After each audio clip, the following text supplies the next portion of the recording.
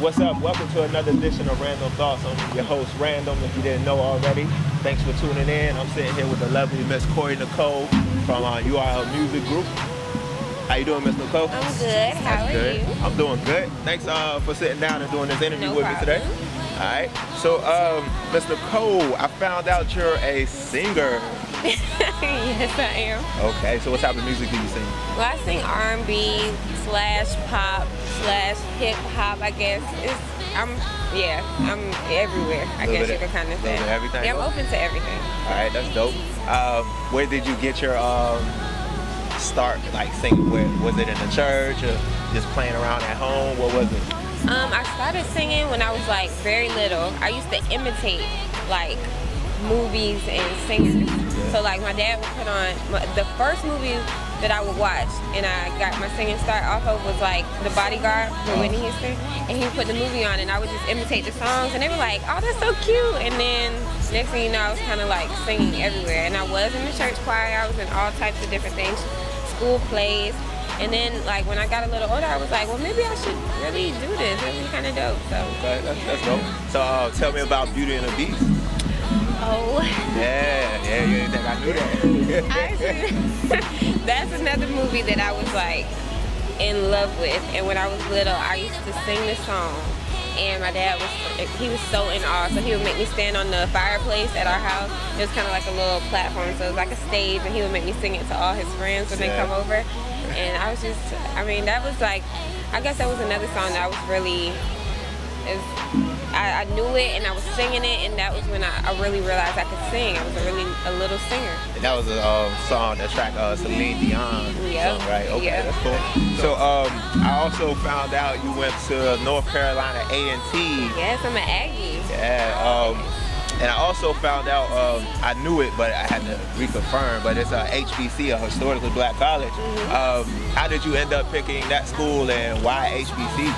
Um, well, I was all my family. Everybody in my family pretty much went to A&T, so I was I grew up around it. Went to homecomings every year with my dad, and I loved it. And when I went to choose my colleges, that was the only one I applied to. Yeah. Got in, and that's where I went. I graduated from there in like three years. And oh, man. yeah, because I went there and I loved it, but I was ready to get out. I had a feeling there was something else I was supposed to be doing. All right, so graduating in three years, that sounds like it was a year early. So did you have a lot of party time, or you just Did I? straight to the book? I had a lot of party party time, What, what was the uh, craziest party memory you got? um, one of my craziest party memories is when I went to this tattoo party. Like at one o'clock in the morning, we just found out about it, and we walked from our dorm to this random apartment. We didn't know anybody, and we got a tattoo and piercings that night, and it was just so random. It was really random, and it's dangerous. You should never do that. but it was fun. I mean, it was college, so we could Was the needle clean at least? Yeah, no, everything was clean. Okay. It was perfect. But it was just like it's a tattoo party. It's 50 people in there trying to get tattoos for $15 each. Like, it's terrible. Don't do it. Just don't do it.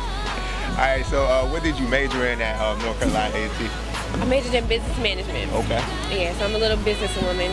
Um, and I think it's kind of beneficial for the the industry I'm trying to go into because I have to know how to conduct myself as a businesswoman and I have to know, you know, people think that they can get over on girls, but they really can't because I'm actually educated in what I'm talking about. That's dope. That's dope. That's dope. So, uh, what current projects are you uh, working on right now? Um, right now, working on a YouTube channel. That's what I'm working on right now. Working on different videos. You know, I do different performances, so I want to compile all my videos, Yeah, I put saw a them out couple there. of your um, covers. Yeah. at some of the local spots out here. Right. So I want to put all of that stuff up. Um, just do like different promo videos, videos for my songs, all that type of stuff, and compile it and put it on a YouTube channel. A lot of people get, you know, their exposure from YouTube. So that's what I want to do right now. And of course, I want to put out maybe a mixtape or an album or something in the near future. I just want to continue to put out a lot of songs and build my catalog up. Okay. Uh, now, um, keeping along the lines with uh, your projects and whatnot, how did you end up um, linking up with URL Music Group? Um, I did a feature. I can't remember if it was a feature for Mel or yeah, I think it was Mel. I did a feature for Mel, and then I did another feature for the whole group. It was a song that we haven't really put out yet, but um, and I kind of just got linked in and linked like that, and then I don't know. They didn't have a singer, and Flaco came to me and he was like, you know, would you how would you feel about you know coming with URL music group and joining the group or whatever and I was just like you know I'm gonna think about it I didn't know if I wanted to make the move I was really I don't know it was it's a it was scary to like join in with a big group because yeah you have to we all really have to work together to build everybody up. And you don't know if everybody's as dedicated as you or you don't and they don't know the same thing about me you know? So it was kind of scary at first but I finally made the decision and I'm not I haven't regretted it yet. We've been working really hard and I'm really proud of each and every person in URL that's what's up. Now um, going back to the homie Mel um, I interviewed him and he said he wrote a couple songs for you. Have you picked those up yet no I haven't why have you no, that's not my fault. he has not gotten to me about those songs since he told me about them. Okay. But he claims he writes all these songs for me, and I'm like, I haven't heard them, but I would love to sing them. I'd love to record them. That would be fun. but right. I haven't heard them. That's dope. All right, so um, that's another edition of Random Thoughts. This is the lovely Miss Kori Nicole. Uh, where can they find you at on the internet? Um, they can find me at Kori Nicole underscore URL on Twitter. Find me on Facebook as Kori Nicole, and you can find me on my blog. It's teamkori.blogspot.com. So right, check that out. Uh, y'all can follow me on Twitter if you don't know already, random757.